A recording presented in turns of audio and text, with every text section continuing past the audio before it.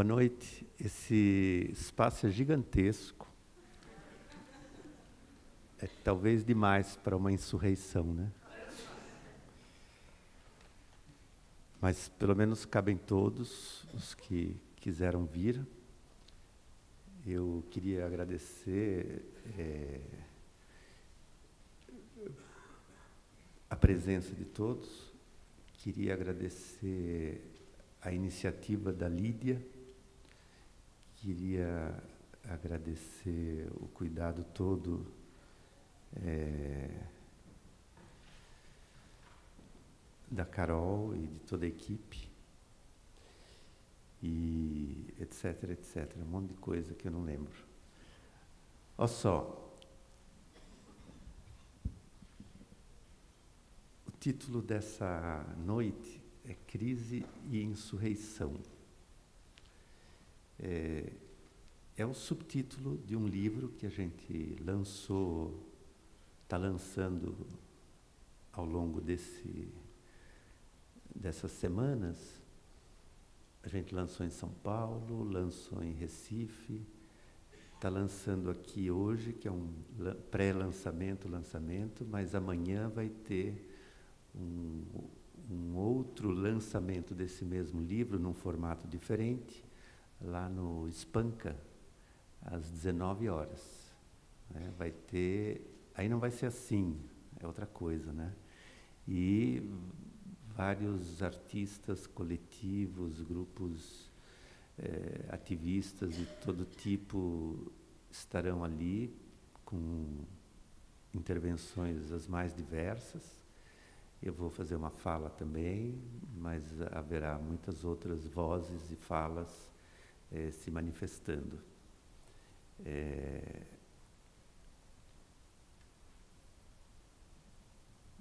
acho que é isso, como preâmbulo, tá?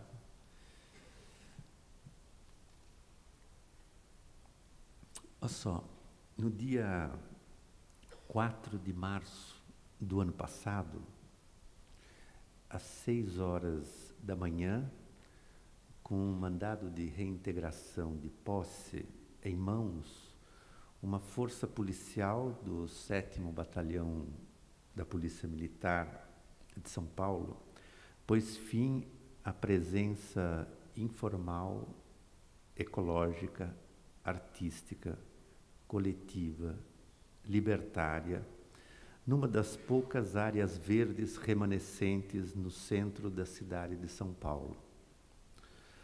O movimento pela defesa do Parque Augusta conseguiu que o prefeito Haddad sancionasse o projeto de lei que previa a criação do parque, só que dias depois se deparou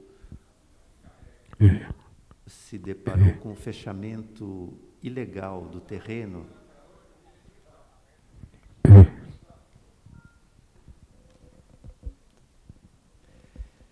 Tudo bem? Tem alguém que quer falar alguma coisa? Tem dois microfones aqui, a gente vai fazer circular a palavra mais logo mais.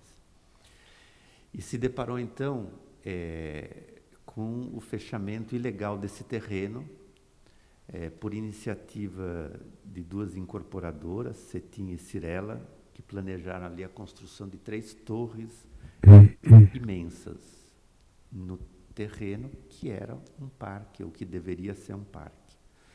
Então, diante do impasse, o movimento implicado na defesa uh, da ideia do parque decidiu como que abrir uma trilha. Curioso, né? Porque abrir uma trilha no interior dessa área cercada pelas incorporadoras. E eles funcionaram como uma espécie de bandeirantes às avessas. Quer dizer, em vez de matarem índios e se apossarem da terra, como fizeram os bandeirantes em São Paulo, é, esses, esse movimento liberou um pedaço de Mata Atlântica autêntica é, no coração da cidade, da, da capital paulista. E instaurou ali uma zona de autonomia ambiental temporária com todo tipo de ações de sensibilização empreendidas por vários coletivos, e por moradores da região, sem nenhuma coloração partidária nem finalidades políticas. Então, a intenção não era se apropriar do terreno, mas abri-lo um, ao que, por exemplo, um Agamben chamaria de um uso comum, né? o que é, é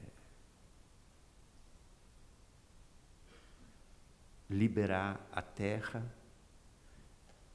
não para posse, mas para o uso, e não privado, mas comum. Uma breve passagem pelo local, antes desse dia 4 de março, permitiria a qualquer um cruzar 800 árvores centenárias, vislumbrando, com uma espécie de alucinação transhistórica, um dos poucos resquícios de passado pré-colombiano fincado na metrópole e soterrado por ela. E ao perambular por essa área, onde antes se erguia um colégio prestigioso em São Paulo, Colégio de é, se viam espécies de mata atlântica plantadas pelos é, ativistas tinha uma cisterna construída para coleta de água de chuva, tinha um show de música com um afluxo grande de gente, uma rádio local na base de, da tecnologia móvel, a mais simples e a mais ágil. Tinha um seminário de micropolítica acontecendo debaixo de um sol inclemente. Tinha uma aula de yoga a céu aberto. Tinha jovens espalhados com seus laptops cuidando e manter viva a rede de contatos, informações, articulações, um filme sendo projetado num canto, entre muitas outras atividades. Era uma terra onde ninguém se pensava como dono de nada. Ninguém vendia nem comprava nada. Ninguém mandava em ninguém.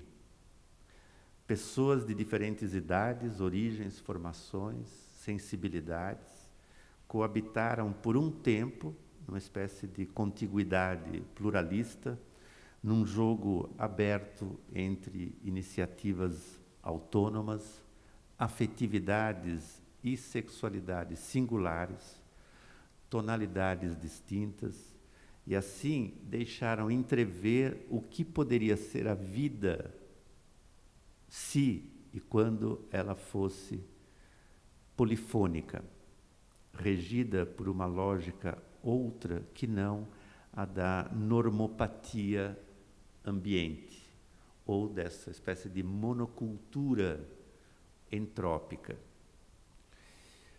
Cortázar chamaria isso um kibutz do desejo. Essa expressão, se eu não me engano, está no jogo da amarelinha. Pois é isso também que ali se ensaiava. Não se tratava de apropriar-se de nada, nem de tomar o poder, nem de apenas gritar palavras de ordem uníssonas contra o capital ou contra a gentrificação, embora isso também estivesse presente, mas também e talvez sobretudo experimentar uma forma de vida inabitual,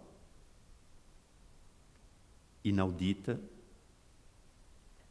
que não necessariamente tenha já um nome, ainda que os ativistas usassem noções aproximativas como horizontalidade, autogestão, organização em rede, embora nada disso desse conta do que ali se gestava. Não era uma utopia ingênua de idílico retorno à natureza, nem uma comuna hippie deslocada no tempo e no espaço, mas sim o que eu chamaria de uma aposta biopolítica. Afinal, a questão central, mesmo e sobretudo em, termos, em tempos de crise, continua sendo que formas de vida nós desejamos hoje. Como o escreveu esse tal do Comitê Invisível, que é autor desse livro, é, chamado aos nossos amigos Crise e Insurreição, é, a força dos islamistas radicais está no sistema de prescrições éticas que eles oferecem. Como se eles tivessem compreendido que é no terreno da ética e não da política que o combate se trava. Portanto, sei que parece esquisito o que eu estou falando, mas a questão é a das formas de vida, das ideias sobre o que significa viver. E no caso em questão, nas antípodas do Estado Islâmico, trata-se aqui nessa ocupação do que algumas culturas ameríndias chamam de do buen vivir. Os povos indígenas, vizinhos nossos, não é? é por múltiplas que sejam as suas interpretações, tem algo dessa ordem, que é uma ética. E talvez inspirado nisso, o Eduardo Viveiros de Castro lançou no mesmo ano uma bela ideia, nesse livro terrivelmente perturbador que ele escreveu com a Débora Danowski, em torno da destruição não só do mundo, mas também dos múltiplos mundos. E essa ideia bonita de suficiência intensiva. Isto é, como se descolar da lógica do acúmulo, da aceleração, do progresso, que envolve a destruição, para se reorientar em direção a uma vida intensivamente suficiente e não quantitativamente ideal. Pois esta quantitativamente ideal, nós sabemos, ela tende ao infinito, embora esbarre nos recursos finitos do planeta que ela se encarrega de exaurir. Então seria preciso passar por uma espécie de ralentamento cosmopolítico para que essa recondução seja pensável.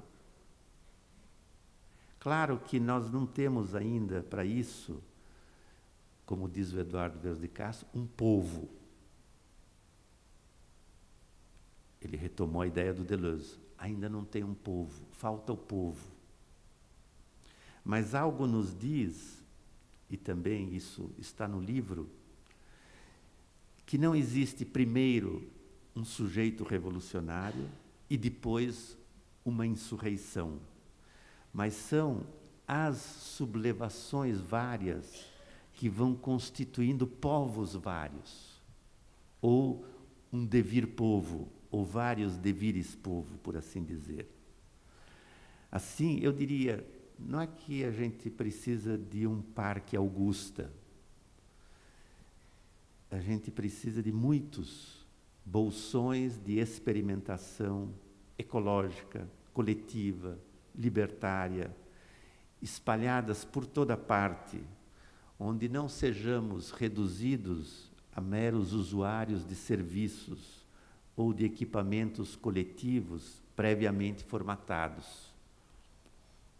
Por exemplo, tem um parque em São Paulo que foi transformado, assim, modernizado. Trilhas para idosos, brinquedos para crianças, pistas de corrida para desportistas, concreto para skatistas, ciclovias para ciclistas. Cada um já sabe o que vai fazer: correr, levar o cachorro para passear, tomar sol, ver belas árvores. Tudo isso Está certo, é bem-vindo, embora gritantemente insuficiente. A meu ver, parte do sufoco, do sentimento de sufoco que as cidades, as grandes cidades brasileiras, entre muitas outras, é, produz hoje, advém dessa é, privatização desenfreada e de, de um esquadrinhamento dos seus fluxos. Nós não queremos ser meros cidadãos obedientes que respeitam os limites que nos são impostos por toda parte, pelas incorporadoras, pelas forças policiais, pela pusilanimidade dos gestores públicos, pelo conservadorismo vigente. Limites que precisamente eles mesmos transgridem alegremente numa velocidade ilimitada. Haveria na outra ponta uma reivindicação crescente, que se poderia chamar um direito à experimentação, com todos os riscos que ela implica, com os limites que forçosamente ela transgride, com os excessos que são parte de uma resistência vital no que por meses foi um laboratório biopolítico, mas também com os fracassos, com as frustrações, com os vazios, com as decepções, com os êxodos que isso provoca. Mas ali, eu estou pegando um exemplo, vocês têm mil outros. Ali aconteceu uma coisa esquisita. Perguntas, né? Como zelar pelas árvores coletivamente? E por cada uma, seja ela recém-plantada ou adoecida. Como habitar um terreno abandonado e lhe dar vida fora de qualquer lógica de mercado. Como dar a cada um a oportunidade de usar suas competências e seus saberes, sem que isso redunde numa hierarquia de mando e obediência. Como relacionar-se com a terra sem tomá-la por um bem privado ou por um mero mero reservatório de lucro. A Pachamama não pertence a ninguém, somos nós que pertencemos a ela. Como a internet pode ser livre num espaço generoso e assim exercer-se o mais elementar dos direitos, que é o da conexão? Como aquilo que é comum, a água, a terra, a inteligência, a potência, pode tornar-se comum. Mas também como desconectar-se, como dormir ao relento, como convidar um músico para fazer um show sem trazer junto o banco que patrocina as artes. Seria abusivo sugerir que fazer valer a lei é necessário, mas é totalmente insuficiente para forjar outros modos de se relacionar com o tempo, com o corpo, com a libido, com a sociabilidade, com a terra, com o céu, com a imaginação, com a arte, com o coletivo, com o sonho não são só as árvores que se extinguem, mas uma biodiversidade humana subjetiva. É preciso inventar dispositivos que propiciem experimentações, que lhes deem expressão, que os sustentem e que os façam ressoar. Algo se esgotou para nós não apenas nas promessas dos políticos, na dependência em relação às instituições, mas, sobretudo, algo se esgotou em nós na depauperação da vida contemporânea, dada essa galopante vampirização capitalística. Nenhum niilismo nessa constatação, ao contrário, ao combatê-lo, o desafio também consiste em abrir a percepção para esses gestos minúsculos ou maiúsculos, onde se ensaiam outros modos de existência. Se um parque Augusta for implantado, e essa exigência é de uma legitimidade inegável, isso sim depende um tanto do poder público e toda a batalha política e jurídica deve ser sem trégua, Ainda assim, talvez esse Parque Augusta que for implantado nunca mais abrigue o acontecimento inesquecível que foi a vigília criativa instaurada por dezenas de moradores da região e ativistas quando aquele terreno foi invadido pela primeira vez. E o fato de que aquela sensação nunca volte, mas permaneça no corpo e na memória do corpo, é absolutamente imprescindível. Como dizem os argentinos, no me quitan el bailado. Eu demorei muito tempo para entender essa frase. Podem me tirar tudo, mas não podem me tirar o fato de eu ter dançado. Então, é, desde as revoltas de junho de 2013, a pergunta que continua no ar, a meu ver, é a seguinte: será que aquilo que foi empreendido e experimentado no corpo a corpo por multidões pelo país afora, aquilo que colocou os políticos de joelhos e por um átimo fez tremer as instituições todas, Será que aquilo tem chance de ser retomado ou prolongado no presente sem ser cooptado, como foi? Eu não pretendo oferecer nenhuma resposta, porque a resposta a essa pergunta só pode vir das ruas. Mas, a meu ver, não deveríamos nos esquivar de uma constatação a cada dia mais tocante, a saber, que essa miríade de iniciativas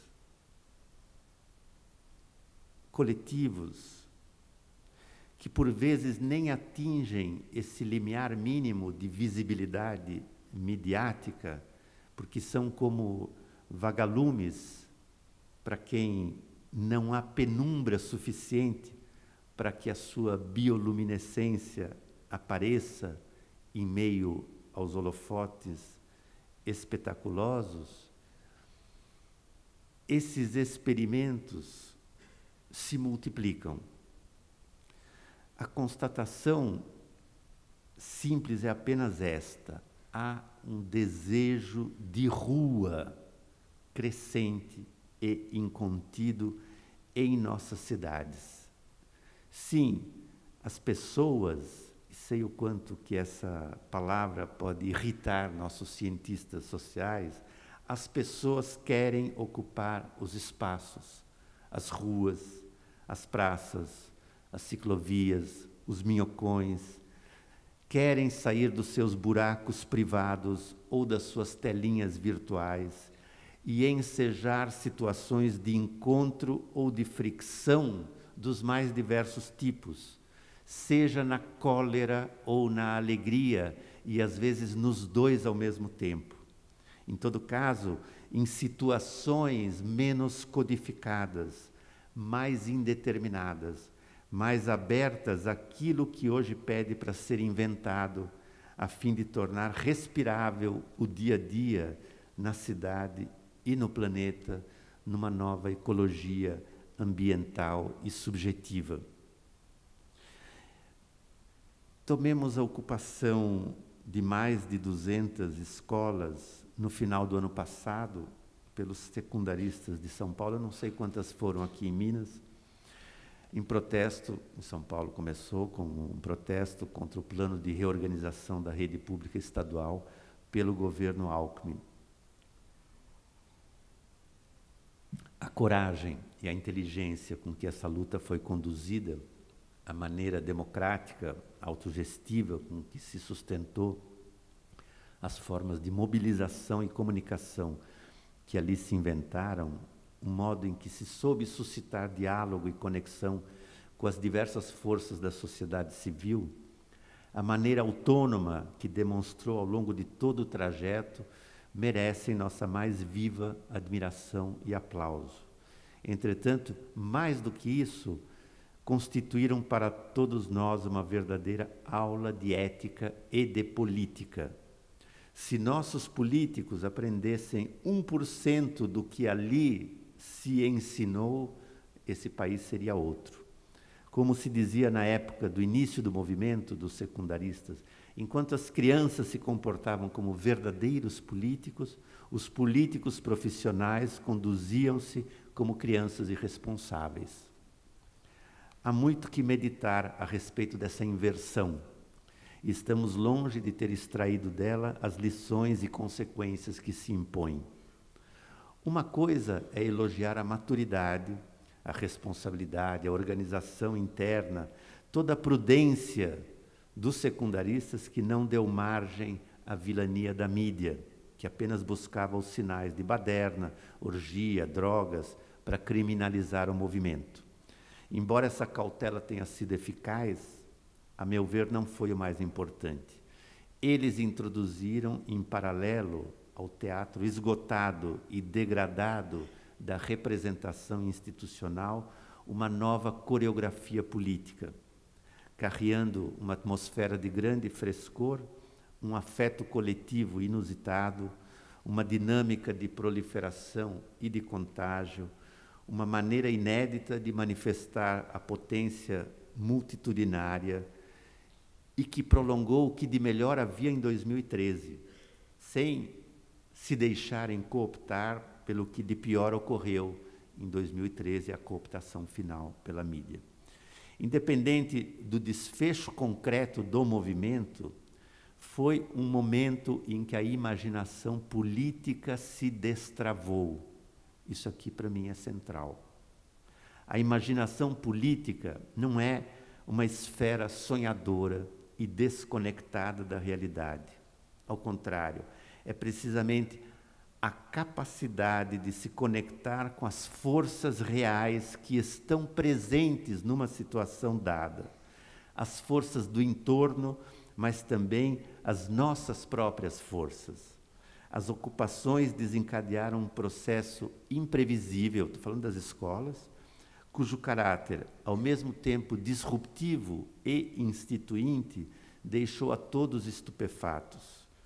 Não cabe a mim fazer análise do que ocorreu, e sim aos que protagonizaram o movimento e o expandiram, no corpo a corpo, no dia a dia, no embate físico, no antagonismo ético, na inteligência coletiva. Eu faço aqui um pequeno parênteses. A gente fez um lançamento do livro na Biblioteca Municipal de São Paulo, desse livro é, aos nossos amigos há um mês e meio atrás, e nós convidamos os secundaristas. E convidamos vários secundaristas, inclusive de uma escola que eu visitei em algum momento, e com quem eu tive um diálogo é, aberto, público, Estava lá a Marilena Chauí, e os professores, e os funcionários, e os alunos, etc. A gente convidou esse povo todo para estar tá no lançamento do livro. O lançamento do livro seria na Biblioteca Municipal, no centro de São Paulo, mas iria transbordar para as ruas em volta. Ora, caiu uma chuva torrencial naquele dia e todos tiveram que entrar dentro da biblioteca, que é um espaço lindo, histórico, um pouco monumental, todo cheio de mármore. E os secundaristas, quando chegaram, viram aquele cenário todo, viram as pessoas, e eles estavam programados para intervir num certo momento, e aí me chamaram de lado, no meio do que estava acontecendo, e me disseram: Nós não vamos participar. E eu, espantado, porque.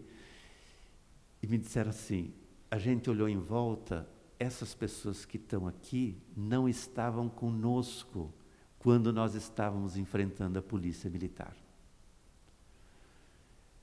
A gente não se reconhece nesse espaço, não é nosso espaço. E eu, por um momento, hesitei se eu insistia eu disse, mas essas pessoas todas são solidárias ao vosso movimento. Ele disse, pois é, mas não é nossa gente. Eu falei, sabe o que? Vocês têm razão. Não são vocês que têm que vir aqui. Essas pessoas têm que ir no vosso espaço, na vossa ocupação. E ali me veio uma historinha, que eu vou contar assim, porque quando o Tony Negri veio ao Brasil há alguns anos atrás, é, havia uma articulação para ele encontrar o João Pedro Stedley, do MST. Então, o Negri estava num hotel, razoavelmente assim, bem situado, quatro estrelas, é, em Perdizes, e a combinação era que o Stedley vi, viria buscá-lo de carro para levá-lo à sede do MST em São Paulo. E o Negre atrasou um pouco, eu estava mediando um pouco a situação, e é, eu estava dentro do hotel, confortavelmente sentado nas poltronas de couro, tomando um cafezinho, lendo o jornal. De repente eu vejo o Stedley chegar e ele está ali encostado numa árvore. Eu vou até lá fora e convido ele para entrar, para esperar que o Negre logo mais vai descer. Ele disse, não, eu espero aqui. Depois eu pensei, que genialidade, olha a inteligência. Ele não vai entrar no espaço do hotel, do cafezinho, da poltrona, esperando o mestre europeu. Está lá fora. Que esse europeu venha para o espaço dele, que é a rua, que é a árvore. E foi o que aconteceu. O Neco saiu do hotel, foi lá, cumprimentou ele do lado da árvore. Entraram no carro e aí a gente foi para a sede do MST. É a mesma lógica. E eu entendi naquele momento, ao contar isso para os secundaristas, que eles talvez tenham sido aqueles que melhor compreenderam o sentido do evento que a gente tinha proposto, que era sobre insurreição, e no qual eles recusaram tomar parte. Eu sei que soa paradoxal, mas é isso mesmo. Eles entenderam. Tem uma espécie de política da espacialidade que é absolutamente essencial. Como é que você constrói um espaço e faz daquilo uma, uma força de imantação? Né? E não abre mão dele. E não é propriamente ocupar, no sentido de ter posse, mas é, produzir um território. Olha, agora volto aqui. É, eu posso dizer que, a meu ver, esse movimento secundaristas lá em São Paulo é, produziu uma espécie de corte é, no tempo é, político, e isso significa o quê? Que uma certa percepção social uma certa sensibilidade coletiva eh, da cidade sofreu uma inflexão, assim como sofreu em 2013. Quer dizer, é toda a dificuldade uma ruptura. Acontece uma ruptura e você tenta ler a ruptura com os instrumentos que você possuía anteriormente a essa ruptura. Só que a ruptura ela introduz uma nova lógica para a qual os instrumentos antigos não funcionam mais. E esse é esse as categorias é, disponíveis antes não funcionam para ler a situação nova. Por isso, a melhor maneira de matar um acontecimento é justamente usar o repertório antigo para compreendê-lo, inseri-lo numa espécie de cadeia causal, explicando o acontecimento pelos fatos que o precederam, pelos fatores diversos, é, que o esgotam, ao invés de desdobrar aquilo que esse acontecimento traz de novo e traz embutido, ainda que de modo balbuciante ou embrionário, e que cabe justamente é, explorar. Quer dizer, aos olhos dos gestores políticos, a resistência dos secundaristas não passava de uma reação passageira, de um estorvo a ser rapidamente removido, uma espécie de insanidade juvenil. Mas, de repente, toda a equação se inverteu. Insanidade foi o que apareceu aos olhos de todos, a saber, a prepotência surda do secretário de Educação, que hoje é o ministro da Justiça, à barbárie fascista da Polícia Militar. É, desculpe, é, o ministro da não é o secretário de Educação. É, a, a, prepotência surda do secretário de Educação, a barbárie fascista da Polícia Militar, protegida pelo secretário de Segurança na época. E esse sim é o ministro da Justiça é, atual, e que hoje está em todas as televisões propagando sobre o terrorismo. Prenderam dez pessoas. Um deles simplesmente é alguém que estava aprendendo árabe pela internet. Impressionante. É um terrorista. Iam comprar pela internet uma arma no Paraguai. Realmente são terroristas perigosíssimos. Mas o que? O ministro da Justiça está. estão numa guerra. É uma guerra que está legitimando, ou tentando legitimar esse governo ilegítimo.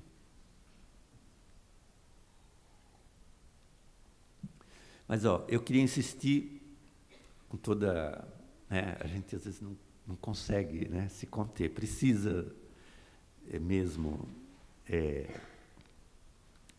dar a ver a nossa cólera. Isso não significa abrir mão da nossa alegria nesse tipo de encontro. Isso é uma das coisas que eu retenho do livro. Cólera e alegria, não angústia e tédio.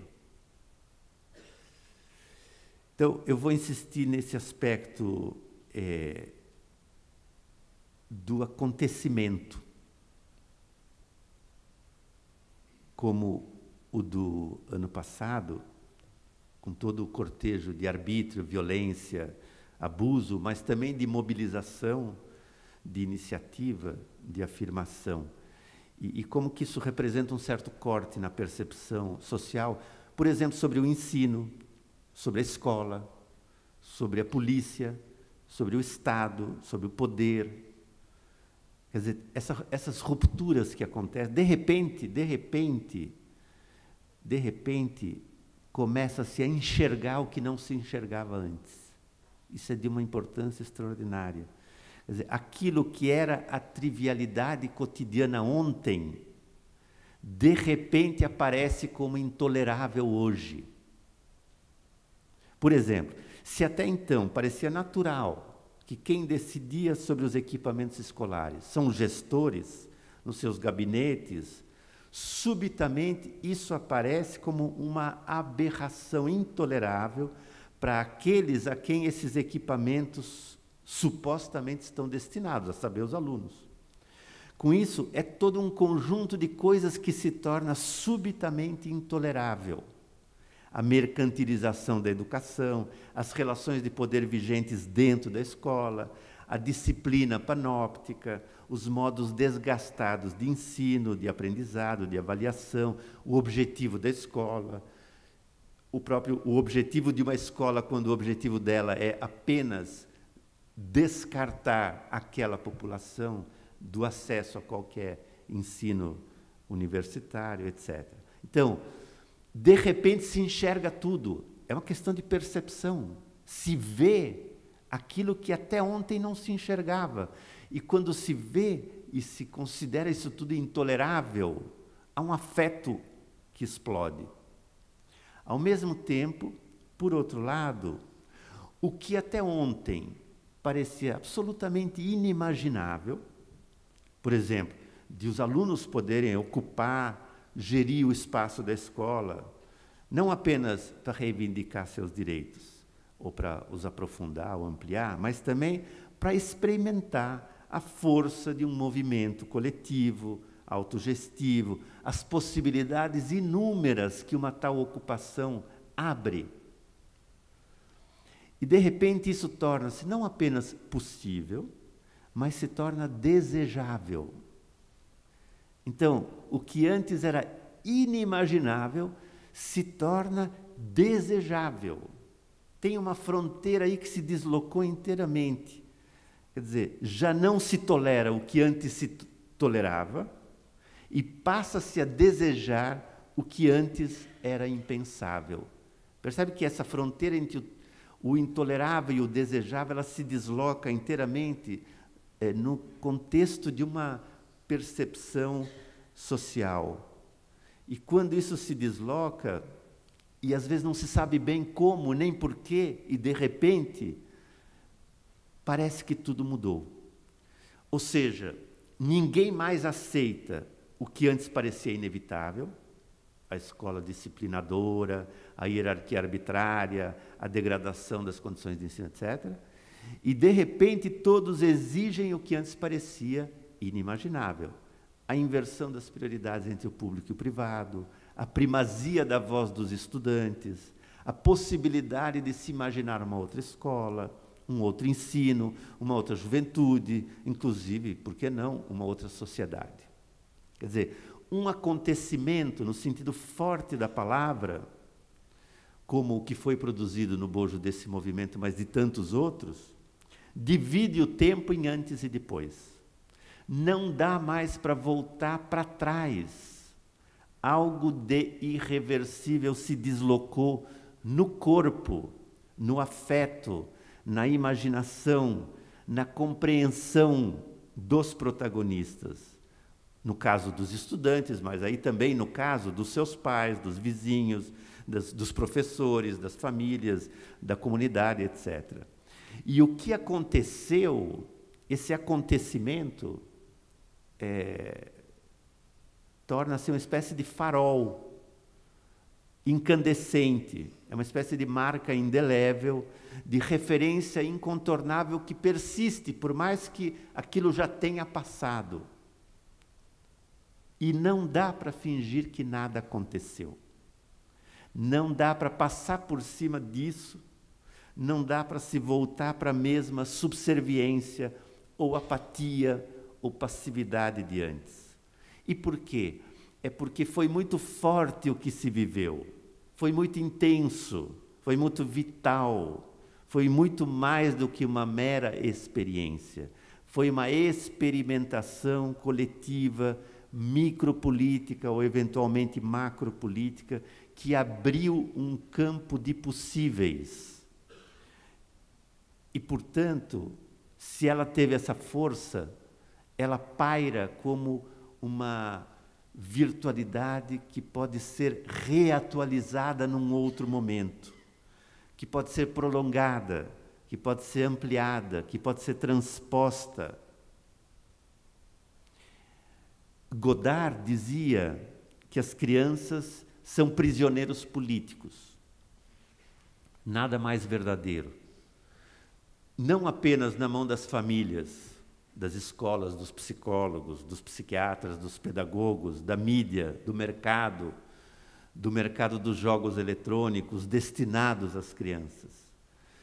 Mas é curioso, é justo no momento em que a prisão revela a sua arbitrariedade e quando a sua legitimidade é posta em causa, é justamente aí que aparece a força da prisão, mas também a sua fragilidade. Aparece o seu peso, mas também a sua vulnerabilidade. E fica evidente que grande parte da sua eficácia repousa sobre o medo e a intimidação. O mesmo se pode dizer dos secundaristas. No momento em que eles percebem que eles estão à mercê das instâncias várias do Estado, incumbidas de decidir do seu destino com uma simples canetada, é justo quando eles percebem o quanto esse poder desmesurado pretende decidir sobre sua vida a mais cotidiana, curiosamente, é aí que tudo se revira.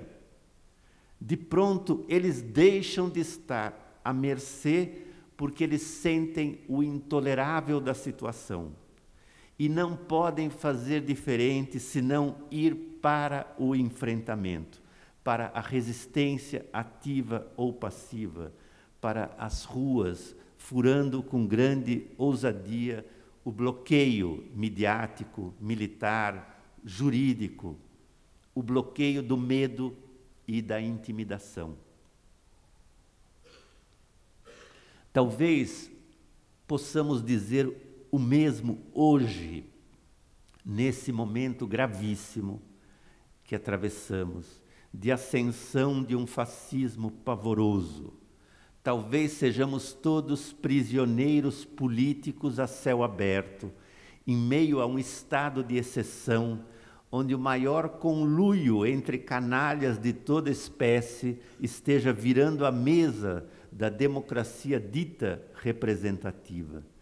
Mais do que nunca, a lição que secundaristas e tantos outros movimentos deixaram é de importância capital, pois é preciso ir muito além das categorias ainda manipuláveis pelo discurso político, ou mesmo categorias mensuráveis pelos planejadores e economistas ou juristas. É preciso redesenhar o campo das possibilidades de vida. Ousemos a pergunta: e se essa operação de destampe da imaginação política se estendesse à sociedade como um todo?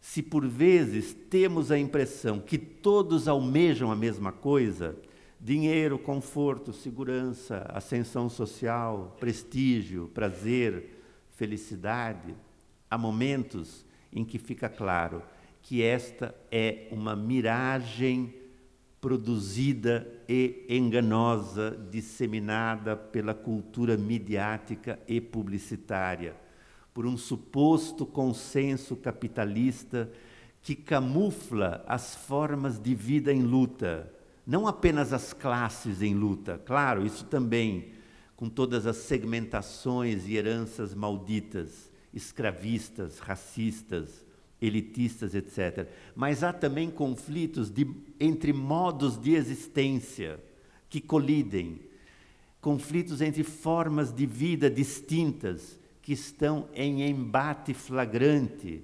Há anseios plurais.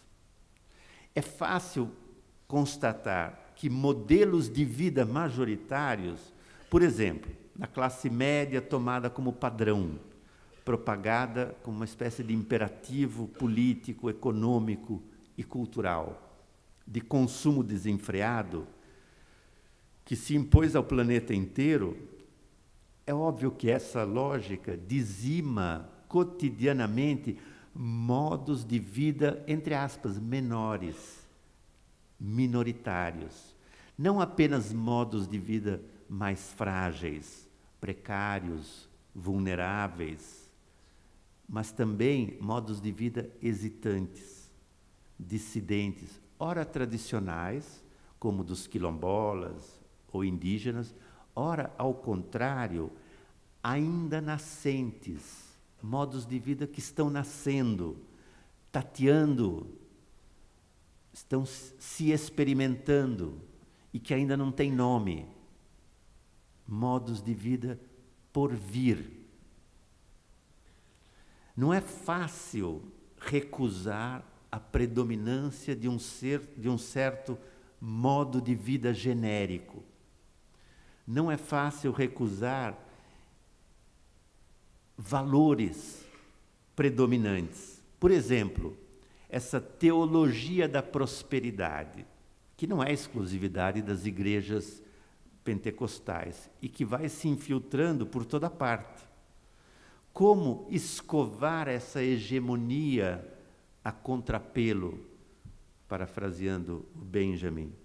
Como revelar no meio disso as múltiplas formas que resistem, que se reinventam, ou que vão se forjando na contracorrente da hegemonia desse sistema de mercado modulado por mecanismos de controle e monitoramento cada vez mais eficazes e sutilmente ou nada sutilmente despóticos.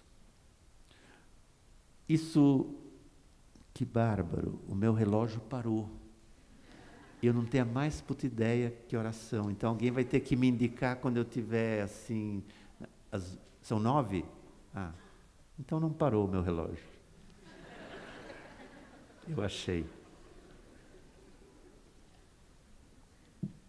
o tempo não para. Ó, e tudo isso que eu estou falando se agrava muitíssimo, obviamente, nesse contexto atual, frente a esse golpe parlamentar, financeiro, midiático, jurídico, policial, religioso, onde vem à tona todo o nosso arcaísmo escravista, aliado à mais perigosa manipulação da fé e que vai de par com interesses econômicos precisos e uma máscara de legalismo e de modernidade autoglorificada. Sim, nós vivemos num momento especialmente cruel. Inclusive, um momento em que o caráter mais flexível, anônimo, ondulante de alguns mecanismos de poder econômico e político não consegue esconder a brutalidade a mais retrógrada da qual esse poder depende. Vai junto. Não é que uma coisa substitui a outra. Uma lógica se soma à outra. Isso que é curioso no nosso mundo contemporâneo, porque tem uma certa flexibilização é, que parece que volatiza o poder, ao mesmo tempo tem uma brutalidade concreta que intervém o tempo todo para garanti-lo.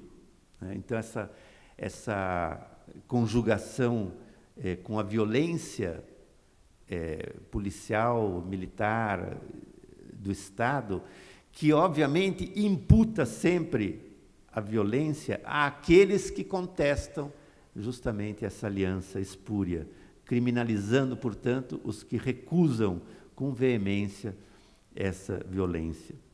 Então, a minha questão é assim: como. São várias, né? mas essa é uma delas. Como alargar o campo da política? Isto é, como pensar a dimensão política das formas de vida e da sensibilidade que corresponde a isso. Ou eu vou formular isso de uma maneira talvez ainda mais precisa como pensar a própria política à luz dessa questão das formas de vida, que, a meu ver, antecede essa dimensão política ou lhe é coextensiva. Talvez o Foucault tenha razão ainda. Hoje em dia, ao lado das lutas tradicionais contra a dominação, por exemplo, de um povo sobre outro, ao lado das lutas contra a exploração, por exemplo, de uma classe sobre outra, é a luta contra formas de assujeitamento que estão em jogo. Isto é, formas de submissão da subjetividade que prevalecem pois o nosso tempo inventou modalidades de servidão inauditas. E o que certos movimentos nos ensinam é que não só o poder se reinventa, a resistência se reinventa o tempo todo. A horizontalidade ou a ausência de centro ou de comando nas ocupações e nas manifestações dramatizam uma outra geografia da conflitualidade. É difícil nomear uma tal mudança e, sobretudo, é difícil transformá-la numa pauta concreta. Como traduzir em propostas as novas maneiras de exercer a potência, de fazer valer o desejo, de expressar a libido coletiva, de driblar as hierarquias, de fazer circular o discurso sem ficar à mercê da lógica da representação, de redesenhar as relações, de fazer ruptura, dissenso. Tudo indica que, por exemplo, a ocupação das escolas não visava e não visa única e exclusivamente a elevação do nível de ensino ou o respeito aos espaços de aprendizado ou as modalidades de consulta e decisão. De algum modo, nessa experimentação, como em muitas outras, vieram à tona muitas outras coisas eu insisto, se os protestos, e eu estou falando de 2013 em diante, tangenciaram uma recusa da representação, ninguém nos representa, ninguém pode falar em nosso nome, nem sequer alguém de nós que pretendesse ser nosso representante. Talvez também se expresse aí uma certa distância em relação às formas de vida que se tem imposto brutalmente nas últimas décadas, no nosso contexto, bem, no, bem como no planeta como um todo. Produtivismo desenfreado, aliado à precarização generalizada, mobilização da existência em vista de finalidades cujo sentido escapa a todos, capitalização de todas as esferas da existência. Em suma, um niilismo biopolítico que não pode ter como revide senão a vida multitudinária posta em cena, nas escolas, nas ruas, nas praças, por toda parte.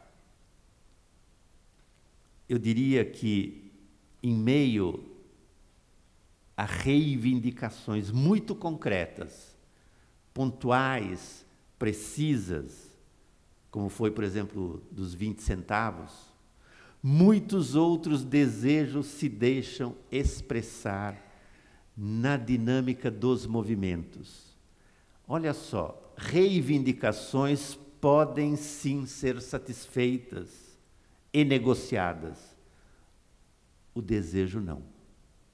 O desejo obedece a outra lógica. O desejo tende à expansão. Ele se espraia, contagia, prolifera, se multiplica, se reinventa à medida em que se conecta com outros desejos.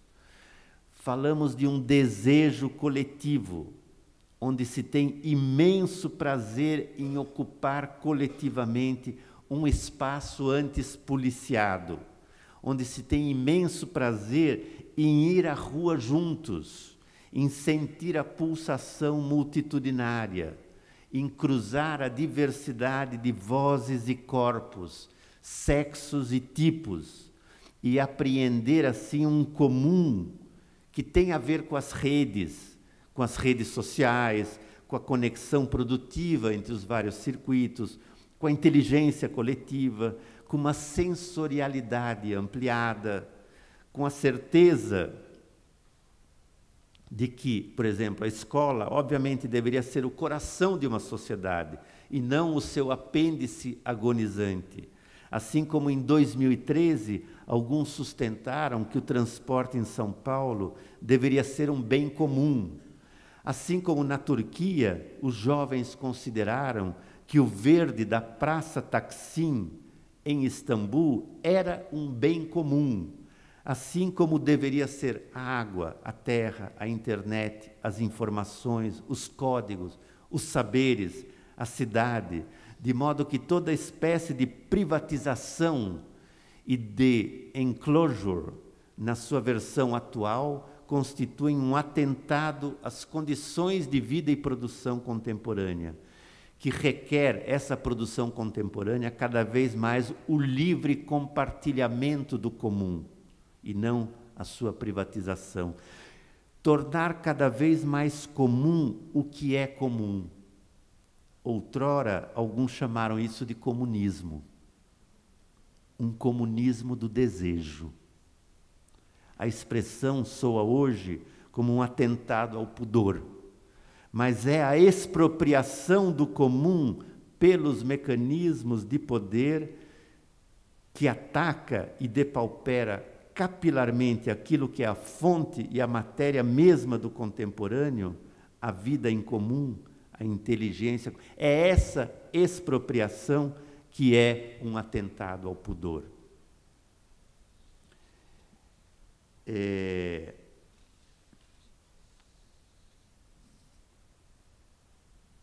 deixa eu falar uma coisinha sobre o pudor.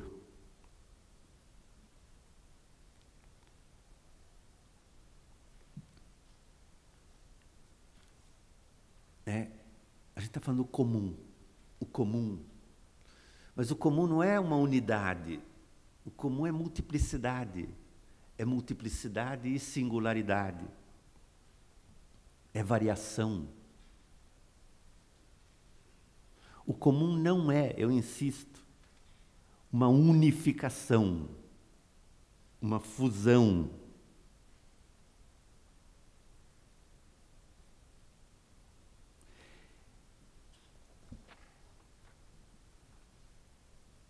O comum é uma experimentação imanente. É a constituição de espaços, de tempos, de intervalos, de desejos, do que o Gabriel Tarde chamaria a invenção de novos desejos, novas crenças, novas formas de cooperação e de associação. Eu sei que é difícil falar novos desejos. Ou melhor, pode ser fácil falar, mas a gente não sabe exatamente do que se trata, justamente porque serão novos. E não há como previamente saber que novo será esse que há de nascer nesses encontros, ou que nasce cotidianamente nos encontros que se fazem. Eu por isso eu vou eu vou me permitir uma pequena um pequeno desvio é, por esse autor, autora espanhol, espanhola, chamado Paul Beatriz Preciado. É, a gente publicou um livro aí que vocês viram, talvez, está lá, é, que é o Manifesto Contrasexual chamava Beatriz Preciado. Quando a gente estava com o livro na gráfica, eu recebi um comunicado dela que a partir dali ela se chamaria Paul. E nenhum outro livro seria publicado com o nome de Beatriz. Eu respondi que o nosso estava saindo da gráfica com esse nome. Talvez seria o último no planeta dela que levaria ainda o nome de Beatriz. Por isso que está lá Beatriz. Mas agora é Paul. Paul B. Preciado. E por que, que eu quero? Porque ela, ele trata do desejo hoje de uma maneira inusitada. Queria dizer duas palavrinhas sobre isso. Porque o que ele está dizendo é que no século XX, o psiquismo, a libido, a consciência, mesmo a heterossexualidade e a homossexualidade foram sendo transformadas em realidades tangíveis, em substâncias químicas, moléculas comercializáveis. Por exemplo, a ciência transformou depressão em Prozac, masculinidade em testosterona, ereção em Viagra. Há uma. É o fármaco pornobiopoder. Eu adoro essa expressão assim, toda. E qual é o problema? Por que eu estou falando disso? Porque a gente está falando de o comum, da vida multitudinária, tem uma presença forte nisso de alguns autores italianos que vêm da autonomia operaísta dos anos 70, como Toni Negri, como Maurício Lazzarato, que a gente publicou também um livro muito importante, Signos, Máquinas e Subjetividade. Mas que, qual a crítica da Beatriz Preciado? É lindo os italianos, a multidão dos italianos, é fenomenal. Só que eles param na cintura, é só da cintura para cima. Chegou na cintura, eles não conseguem mais pensar. Quer dizer, é só inteligência coletiva. E a sexualidade? E o erotismo? E aí vem essa bomba. Né? o que, que é a molecularização do biopoder.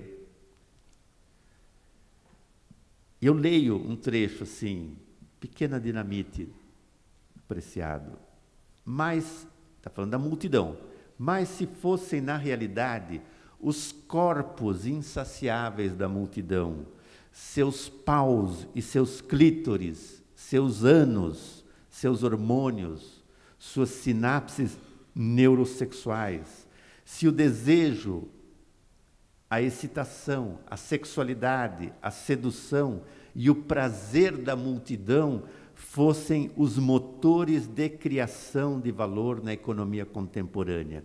Se a cooperação fosse uma cooperação masturbatória e não simplesmente uma cooperação de cérebros. Ousemos a hipótese, é dela, dele as verdadeiras matérias-primas do processo produtivo atual são a excitação, a ereção, a ejaculação, o prazer, o sentimento de autocomplacência e de controle onipotente.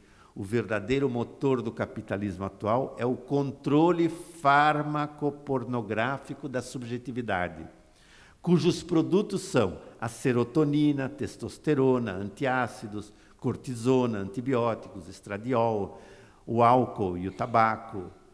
Portanto, somos todos já aqui é, vítimas.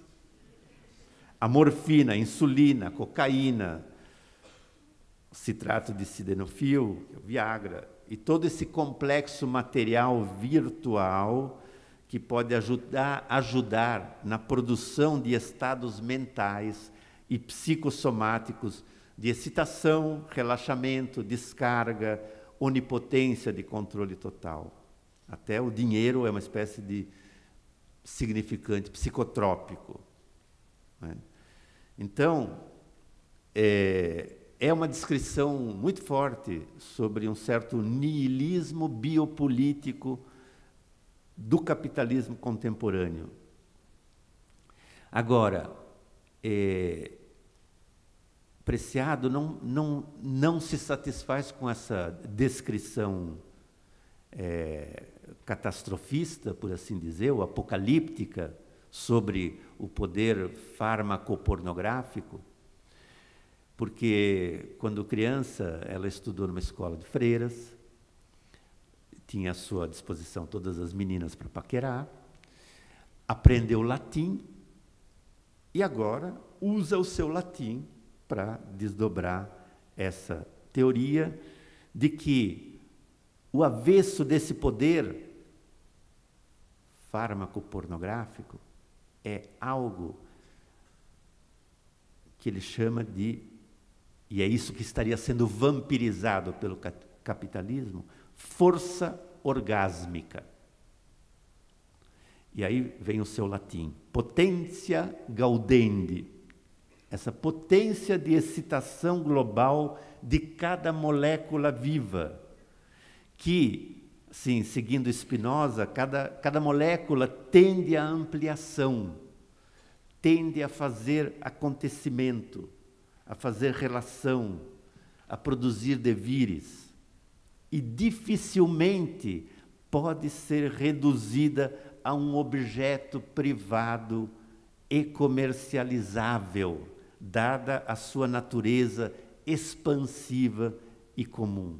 Quer dizer, se o biopoder se acapara de algo, não é da vida, mas desse corpo tecnovivo, por baixo do qual estaria essa força orgásmica, potência gaudende, que justamente não pode ser pensada como uma matéria inerte ou passiva. Quer dizer, é, é, óbvio que a descrição da Preciado, isso me interessa especialmente, crava na carne do presente e percorre a latitude do biocorpo contemporâneo. É, e, e, eu estava falando do pudor, por isso que eu trouxe o Beatriz Preciado, que vai além do nosso pudor político politicamente correto, para nomear uma outra dimensão onde o, e por isso, Apreciado fez um, uma espécie de experimento sobre si mesmo, é? com, com gel de testosterona, para experimentar essas transições entre um gênero e outro, né? e, e fez desse protocolo de intoxicação voluntária à base de gel de testosterona, uma, uma experimentação sobre a sensibilidade e o erotismo, é, assim, no modo de um, de um hacker que, que, que rouba o código e o usa contra o uso que o poder faz dele. Então, é esse o, o livro Testoyonki, Testoyonki, que a gente vai é, publicar em breve, é, é, é, isso, é o relato do, do, do Preciado sobre esse experimento sobre si mesmo, e uma teorização muito é, forte é, na linhagem Foucaultiana e, e, e bastante deleuziana também, e onde, onde ela faz uma espécie de, de, de manual de bioterrorismo contemporâneo, é, na escala é, molecular. Quer dizer, no fundo é um exercício de desmontagem e remontagem é, da, da subjetividade contemporânea. Eu diria, quer dizer, se, se o capitalismo mobiliza tudo é, para é, monitorar o desejo ou controlá-lo ou vampirizá-lo, esmagando as suas virtualidades não finalizáveis, porque no fundo o capitalismo ele ele, claro que ele captura o desejo, mas e, e ele dá a ele uma finalidade, que é a do próprio capital. E, então, é, como, como retomar esse, essa questão do desejo multitudinário numa perspectiva que não vise uma finalidade extrínseca ao que o próprio desejo vai produzindo e criando.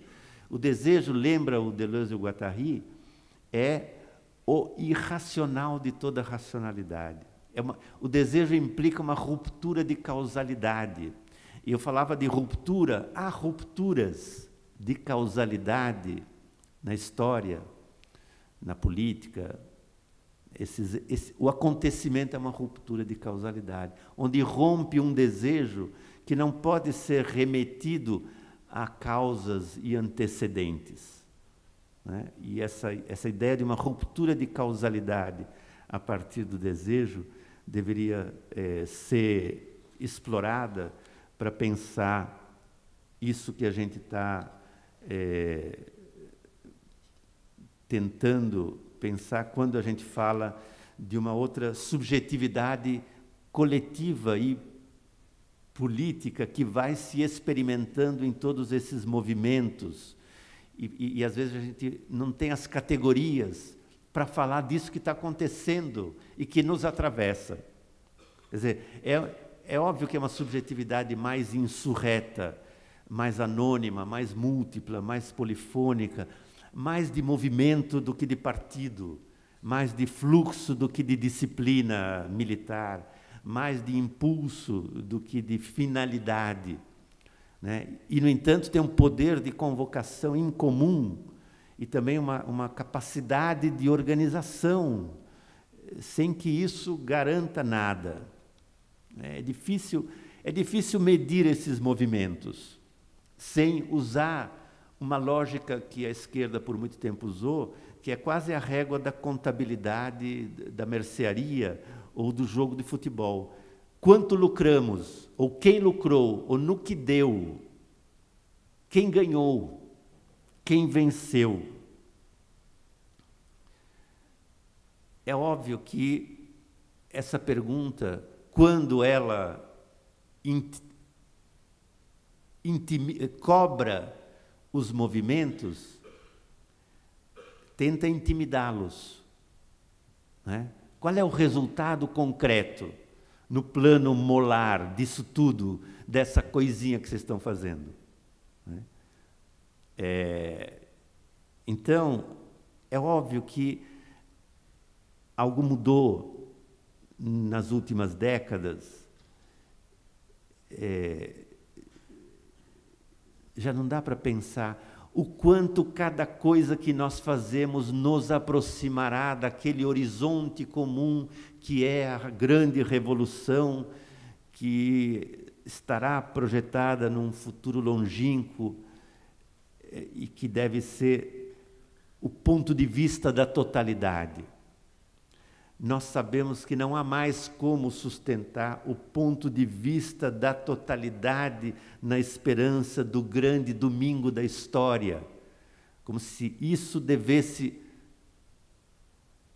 é, por assim dizer, disciplinar toda e qualquer iniciativa.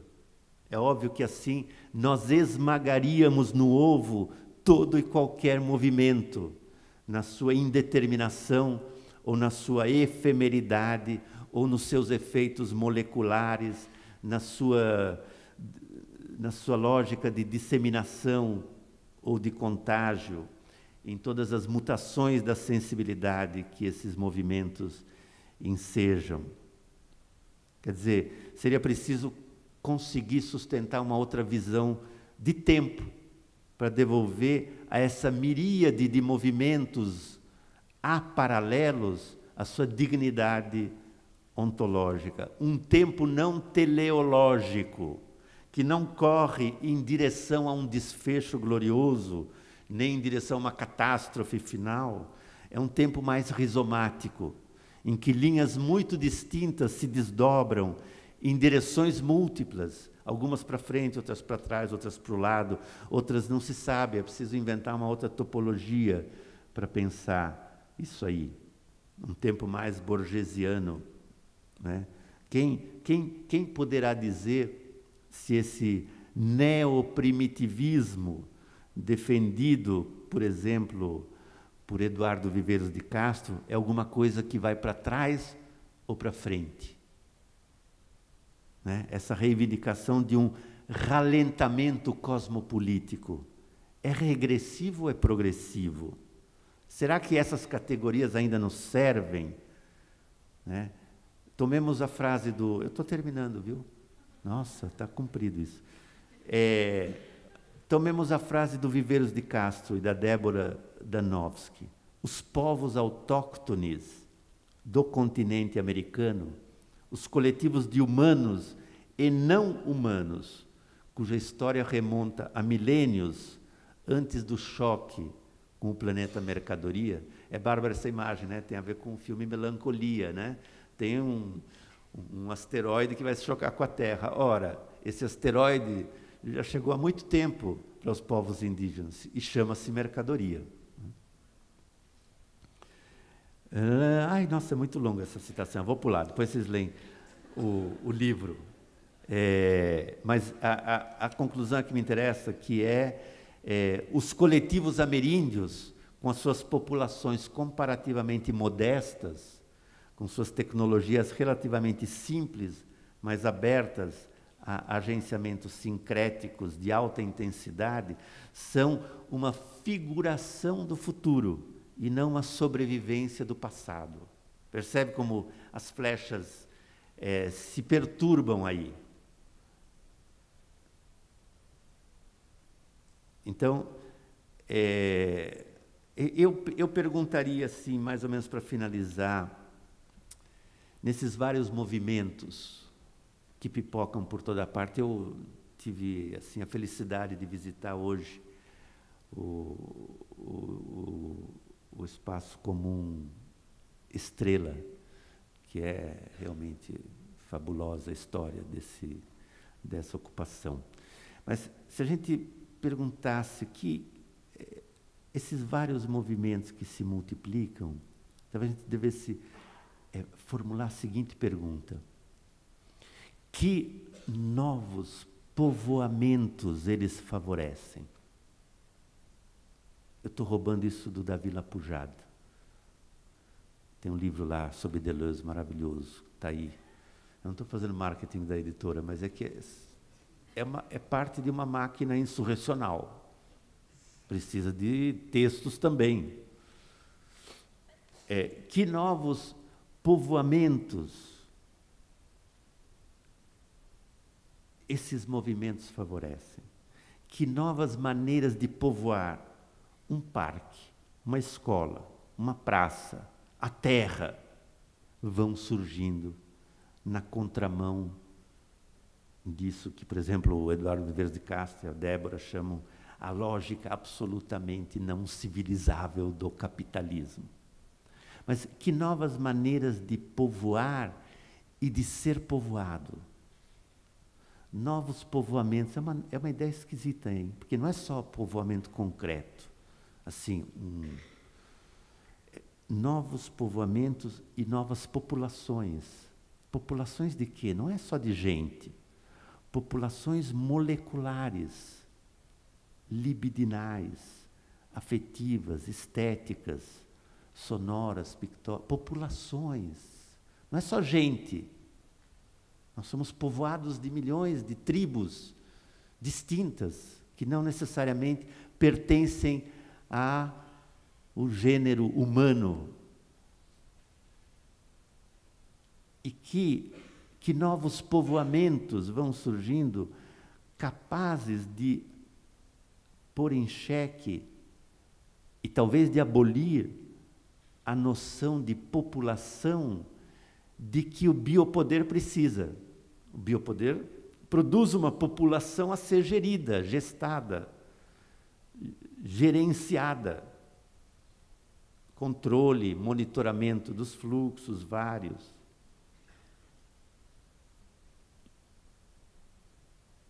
Quer dizer, como a partir daí, aí eu roubo essa frasezinha do, do, do como ele diz, só novos delírios, novas fabulações nos farão crer no mundo outra vez.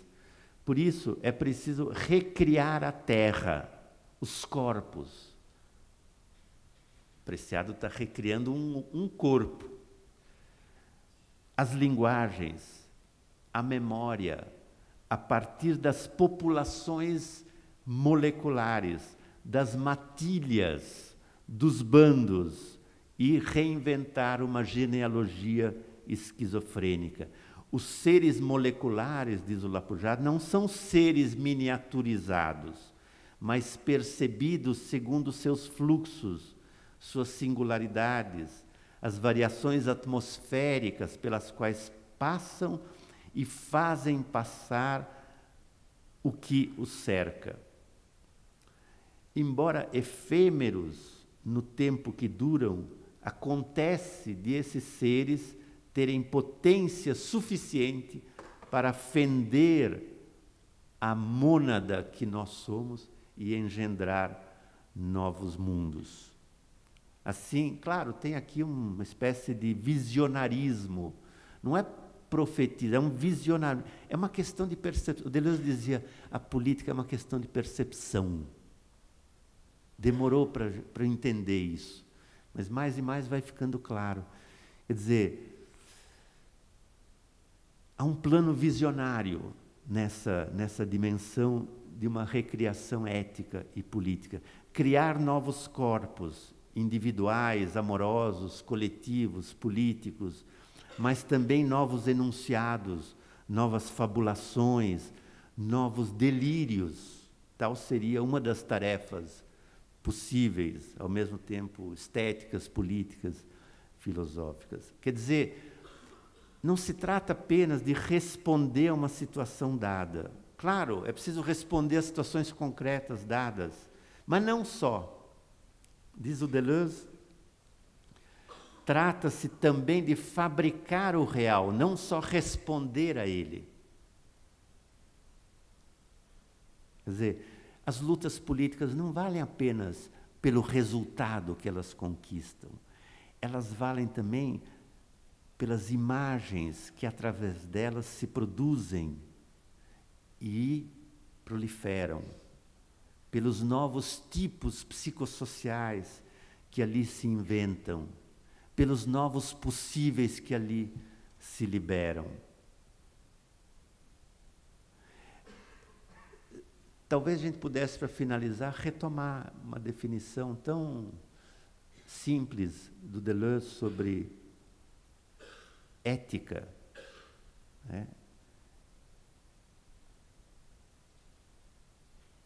Ética pode significar estar à altura do que nos acontece, estar à altura dos acontecimentos que nos é dado experimentar, viver, inventar, intensificar. A gente sabe que, e aqui eu realmente estou terminando, a gente sabe que a força dessas experimentações, às vezes minúsculas, é, diante do poder das construtoras, dos governantes, dos juízes, parece sempre irrisória, para não dizer risível.